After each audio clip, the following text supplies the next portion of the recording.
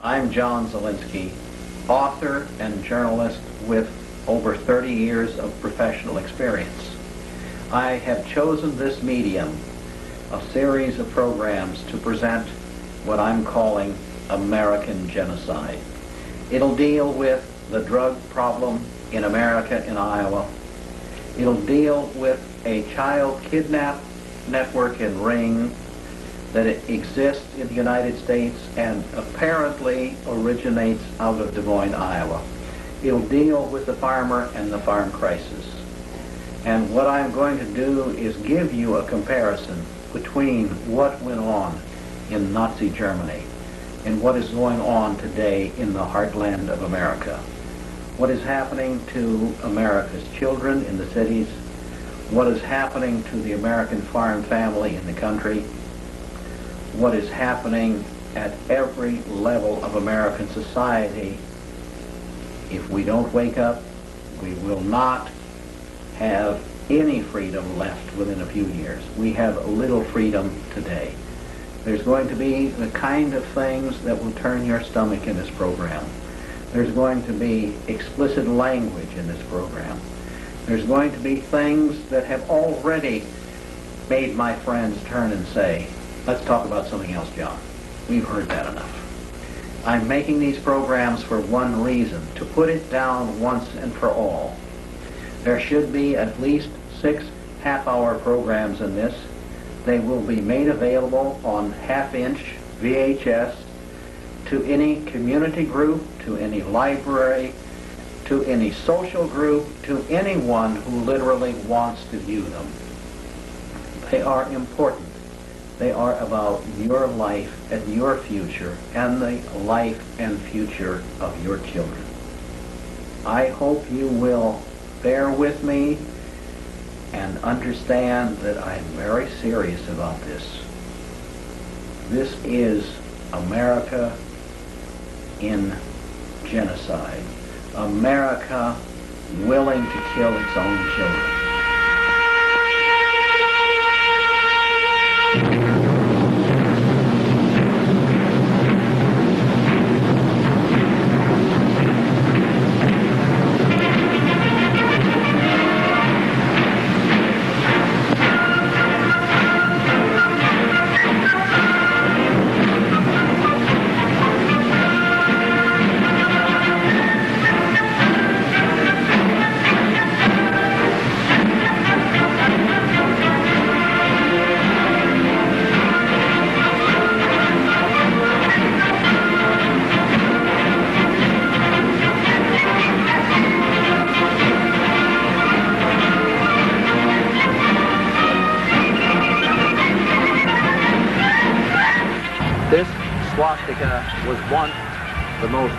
Symbol in America.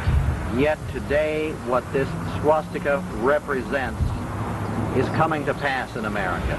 A new fascism is rising in America. A new fascism in which our own federal government is a part. They are putting down the Constitution. They are putting down civil rights of individuals. Individual farmers, individual businessmen, individuals in every walk of life are beginning to feel the oppression. In the downtown street a few days ago, I displayed a swastika borrowed from a local antique shop. A man immediately came up and began speaking to us, thinking at first that we were neo-Nazis, and when I said, no, I'm merely trying to illustrate the fact that fascism is growing in America, that we have a kind of new neo-Nazism at the University of Iowa, at the state capitol in Des Moines. And he agreed. He said, I escaped from Poland uh, back in the 70s, and it took me three years to get to America. And he now finds that there is what he calls creeping fascism or new Bolshevism in America. Uh, uh, abortion, education, uh, condom distribution in New York. It's, it, it brings down brings down society. No, no values, no moral values are collapsed. Well, it's a- Absolutely. It's a, neo-Bolshevism, neo-fascism. Mm-hmm. It's the same thing. He commented that uh, George Bush's New World Order was suspiciously like the works of Lenin and so on, Marx and Trotsky, and their then New World Order that brought us the Soviet Union. Now, is this what you want for your children? A new world order in which the American family farm is now the collective farm. Uh, it doesn't matter whether that communist organization is corporate communism or whether that organization has the name uh, Soviet this or Soviet that. Corporate communism, the control of the farmland of America by corporate interests amounts to the same thing as the collective farms of the Soviet Union. What is the end result? What do you think is the, this end result of this New World Order? What will happen finally? I think that If, if he will I- be successful. All right, I have seen it coming that we are essentially going in to the kind of thing that you had in Russia. Right now, there is a hmm? desire to have the American farmer, the family farmer, taken off the farm and replace it with an industrial farm. yeah, farmers, with, with a corporation. yeah, farmers Yeah. are being made to feel like they're shit. Yeah. That they're not worth anything. That they're they were never doing it right and that if they want to work, they should just work on the farm. This is what they take the farm away from it and say, look, you can keep on staying in your house. You just work for us now. No. And uh, they don't want to do this. Americans have always been independent. They'd rather be poor on their own farm than they would be earning a nice salary and not owning anything.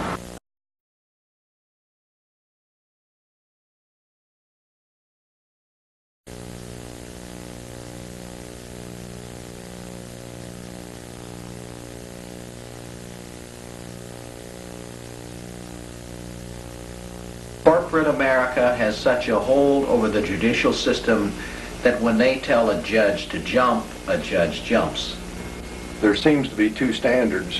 Um, if a, a major concern is the plaintiff against a small defendant or private citizen, that there seems to be two standards in the courts for what uh, the procedures uh, entail, and that kind of comes out in when we file motions that are, let's say, uh, against the plaintiff, which in this case is the Farm Credit Administration, uh, Some of those motions have never even been addressed in the courts. They refused to even bring them up for hearing. At one point, we had uh, a motion for default judgment uh, when the farm credit system declared that they had paid the receiver and it was in the violations of two court orders. Uh, A receiver is supposed to be a third party, unbiased to either one of the other two parties in order to manage the incomes of this- of the uh, lawsuit. When the plaintiff admitted that he played, paid the receiver for his uh, operations and requested that they be paid back in a decree of foreclosure, it showed that they were actually bribing a public official. We, uh, we filed a default, uh, a motion for default, based on the violations of two court orders which directly ordered them to pay it out of the receivership account rather than from the plaintiff's account. Uh, When that wasn't heard at a proper length of time in the district court, we uh, filed a motion for writ of mandamus from the Supreme Court to direct a lower court to, to perform. The Supreme Court also denied it and refused it. So we have some major problems when we have motions that we go into court, we can't get the courts to address our complaints or our, our legal claims that have been proven, which they even admit to. I, I guess this is some of the problems that we're finding in our court system and in our, uh, You're saying if you're a corporate entity or you're a government entity and you're important, the court addresses those issues. But if you're an individual against the government or a big corporate entity, you're not getting answers. You're not That's correct. I think they, they ignore what they don't want to address.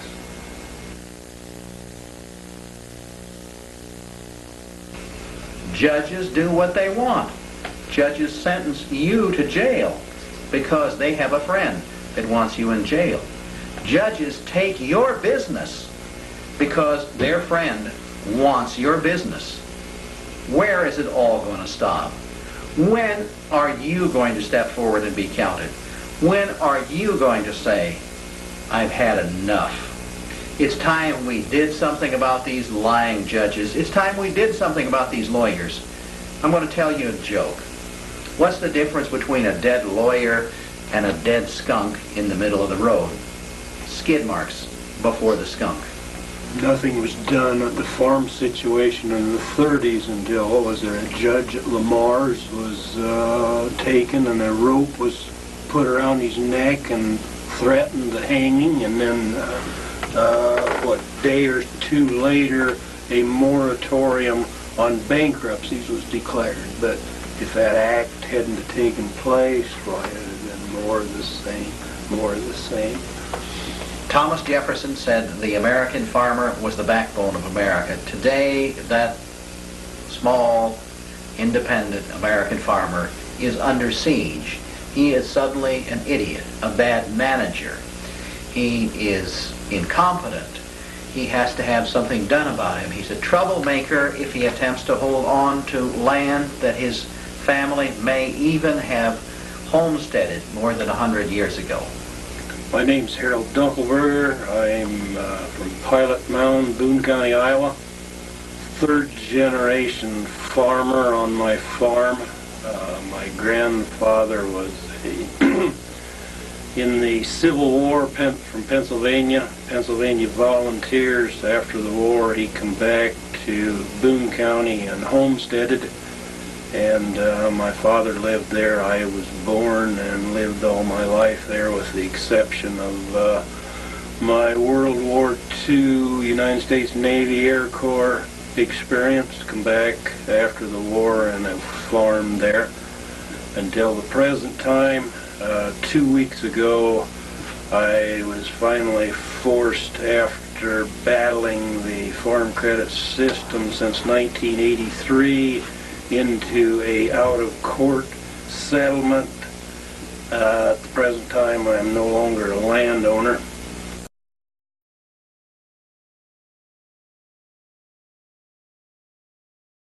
When they uh, targeted me for foreclosure, I had, I don't uh, acknowledge I didn't have a debt. Uh, I had the 84 crop, which was a very good one. Uh, in the bins uh, because they targeted me. There was uh, no money. Uh, they disallowed the uh, budgeted money. I couldn't pay my inputs. Uh, I had to drop the wife's health insurance. We didn't have money for food. Couldn't pay the light bill or the fuel bill. Uh, the crops were in the bin uh, needing drying with uh, no electricity and no fuel. Uh, they would de- and did deteriorate fast. There was uh, in the neighborhood of four hundred thousand dollars worth of corn and beans that uh, the, the market value that they let deteriorate because of their uh, eagerness to starve me out uh, when they found out that uh, that, along with other threats, that uh, I was to uh, quickly auction two farms that I'd had uh, 100% paid off. Uh, that was their demand. Uh, I uh, wouldn't bow down to those demands because there would be terrific uh, tax consequences if I'd had if I would have done it.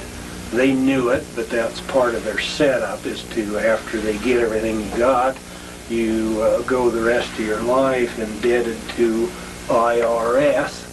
And uh, so uh, when they couldn't kowtow me any other way, why they got a, uh, a legal instrument that even the lawyers don't like. It's so severe and so rotten. It's called a replevin they go to the court and say, hey, Dunkelberger hasn't paid his expenses. He's got this grain out there in the farm. He's got this machinery out there in the farm. The grain is worth three hundred thousand.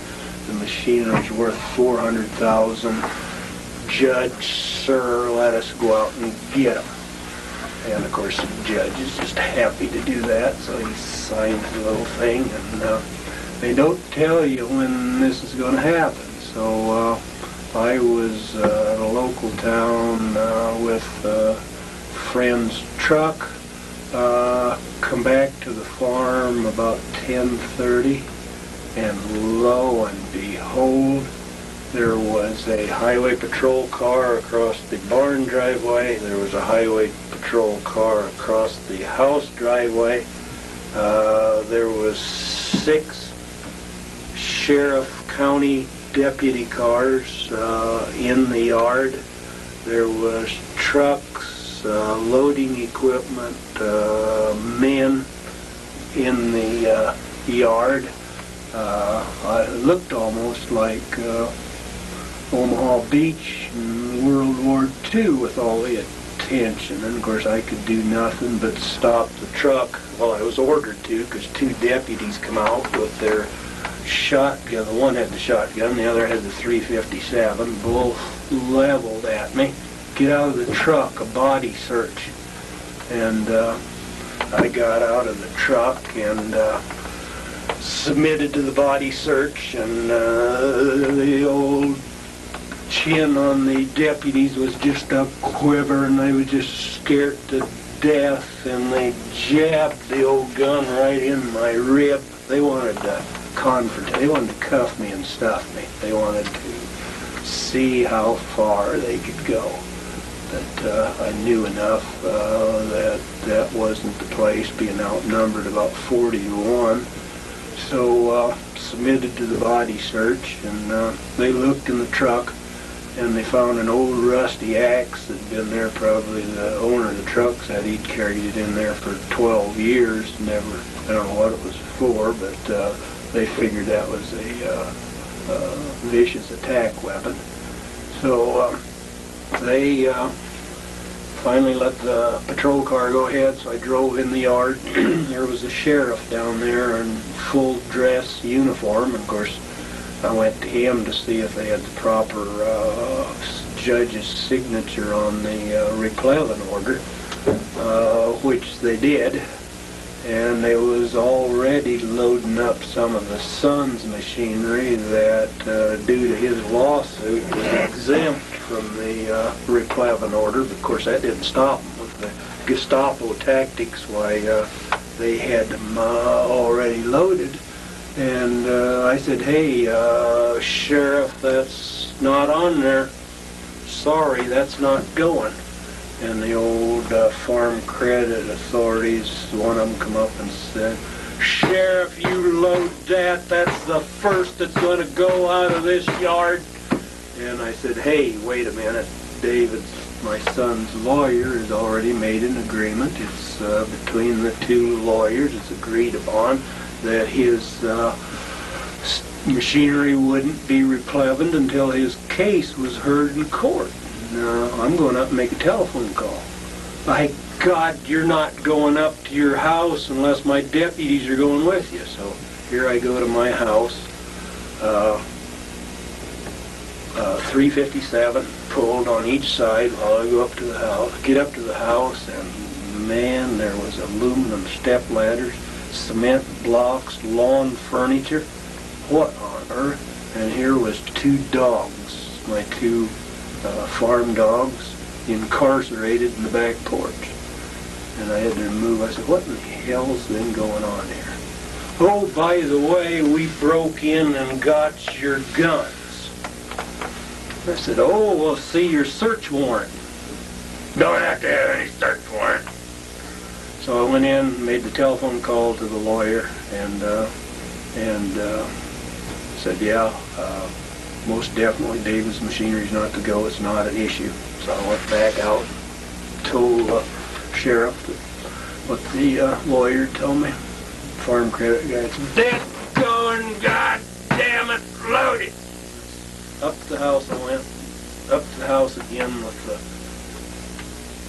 deputies on each side with a 357 on each side of me. Finally, the sheriff come. I said, "Hey, I want you to listen on the other phone what they say." So he wouldn't go with us through the dogs in the back porch. He tap tap tap. And uh, so he come in, and we finally got that resolved that hey, it didn't go. But uh, uh, they go, they took the guns. They broke into the house. Uh, they had no uh, claim to go in the house. They had no uh, probable cause, no search warrant. They still own the guns. Uh, later, then a few days later, uh, got a uh, hearing. Had to appear. Uh, the dogs had to appear. They uh, declared them vicious attack dogs and they declared the guns all automatic assault weapons. Harold Dunkelberger had his house broken into, searched for weapons, and those weapons confiscated without any search warrant, without any due process. Some of what is happening to Dunkelberger now is done without due process, and it is done because he has no one to go to. Not a legislator, not a representative, not a lawyer who will dare challenge the system.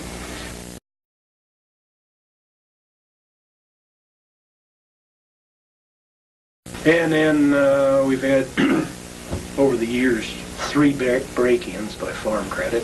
And the reason I say I know it's Farm Credit is because it was a, uh, uh, was investigated and it was a professional job of uh, breaking in with the least amount of damage, which if it was a burglary, why they just hammer the door in and gain access, and uh, nothing of value was taken as far What, as what do you think that was for? Why? They went after, uh, because at that time, my son's suit was hot on the front burner, and uh, they come in, they definitely went for records in the basement. Left everything alone, but records in the basement. Um, two other break-ins, uh, minor harassment tactics. Uh, one time they got a safe, a small, uh, 180-pound safe. They carried the whole damn thing out because they couldn't uh, open it, looking for more evidence to use against me and my upcoming uh, lawsuit against them. Uh, November 30th of this year, uh, I was going to Fort Dodge to a meeting with my professional witness on my lawsuit went past the north place, I call it the Carlson place.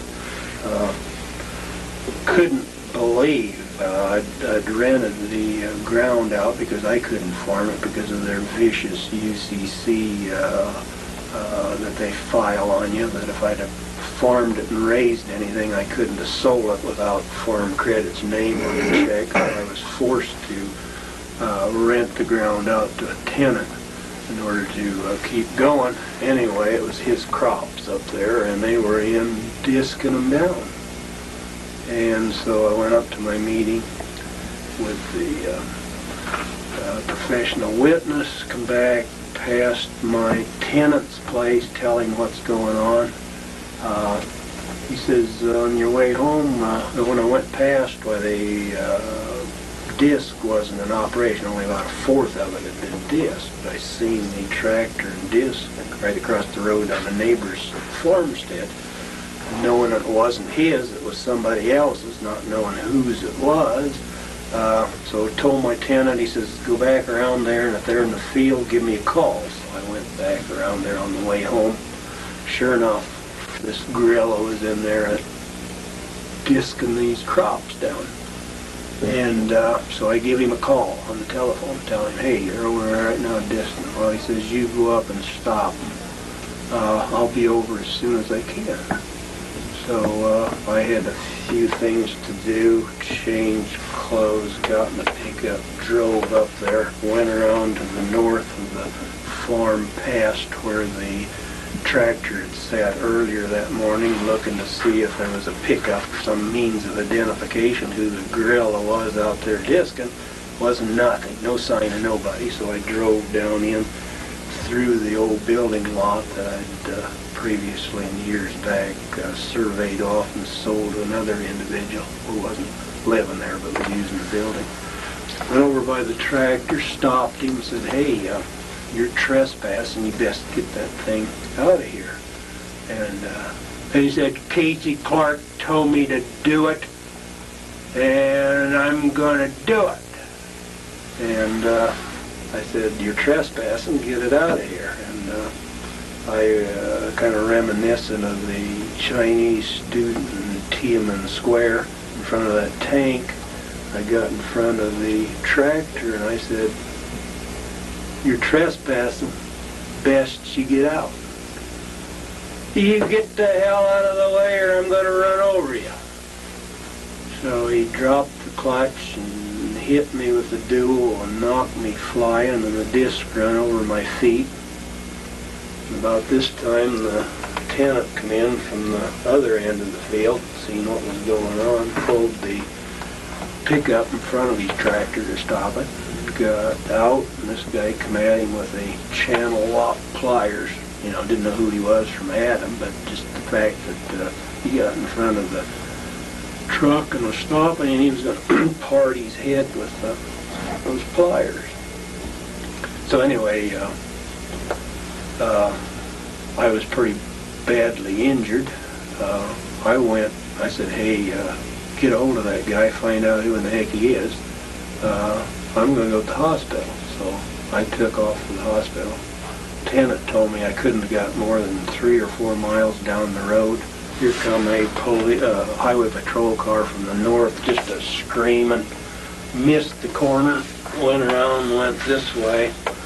Uh, he said within 15 minutes, uh, there was a highway patrol car and four deputy cars, and we're 23 miles from Boone, and the odds against that happening would be one in 10 million because uh, uh, with my dogs and the previous uh, way they've handled things, if I would be murdered out there, it'd be lucky if I could get a deputy in an hour. They turned this thing clear around. Uh, Lieutenant and I being assaulted, uh, attempted murders, uh, what I called in from the field before I went to uh, the hospital. Uh, called it, How bad was your injury? What, Uh, what was done? Lucky I had uh, steel-toed work shoes, and uh, yeah, I've got bruises, contusions, but the main thing is the uh, post-traumatic stress syndrome of the uh, nightmares of this damn tractor running over me, the depression, the uh, all the other things that's associated with sleeplessness. Uh, uh, but they turned that around. Yeah. Now I got a criminal, along with, they immediately filed a civil action. Oh, this guy's in terrible shape. We abused and misused, and uh, lucky he lived. And uh, so they got damages and punitive damages. You mean But then- against the one who was driving the... Now against Lieutenant Nine. Yeah, Yeah, they done a for- spin on that. Right, but for, uh, because they said you injured the guy that was driving. hmm That's the basis of their lawsuit. Right. Yeah, yeah.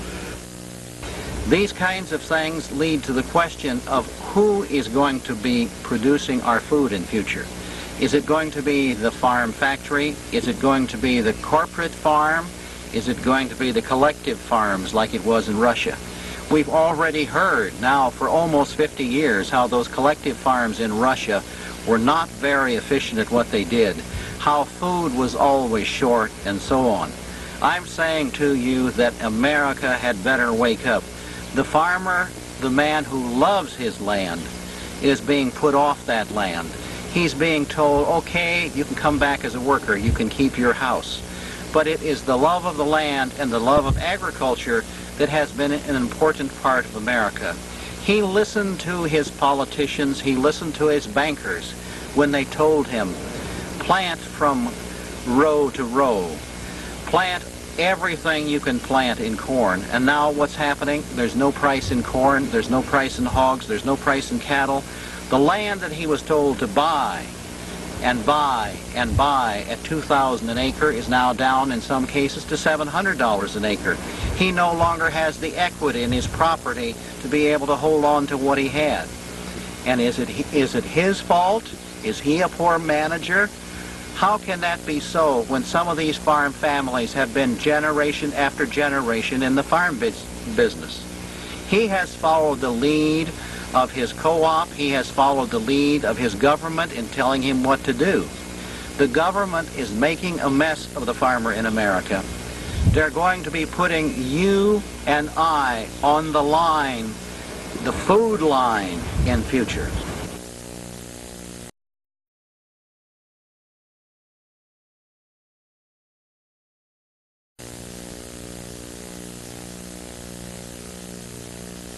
This is where publisher Paul Zimmer works. I have approached Paul Zimmer and other members of the university administration and other members and faculty and asked them to pay attention to what was going on with the American farmer. Mr. Zimmer did not hesitate to publish a soulful book on the plight of the farmer in poetry. He does not hesitate to appear at Prairie Lights bookstore and read from that soulful collection. But as to doing something to actually help the farmer, you won't find him there. I say that anyone who stays silent in the face of rising fascism is himself a fascist. in its, its legs, shivering, and its back dropped so far your feet dragged on the ground when you sat on it, even if he was the youngest. He'd rent it, touching it on its side all the way down to its tail, and back up to its neck, picking up its feet, squinting into its face, prying open its mouth. Horse It was after all a horse, and all he needed was what it was, harnessed to the plow for a couple of afternoons, It says, don't talk to the police about Johnny Gosch. Now, why would the NAMBLA network say within a few months after the disappearance of Johnny Gosch, don't talk to anybody about it? And later, there's a boy in prison in Nebraska now. His name is Paul Bonacci. Paul Bonacci was one of the children on that network for more than 15 years. That is, he sold his body across the country and across the world. He had met with Johnny Gosch several times over the years and he said, yes, Johnny Gosch is a sex slave. Don't ever do that Yes. again, mister. Now, mister, I am here to talk No, about what's gonna go on. Go ahead. You don't ever Go come ahead. up behind give me it, and put that shit up behind Give me. it, give me a swing, mister, because you're the one that's betraying this country.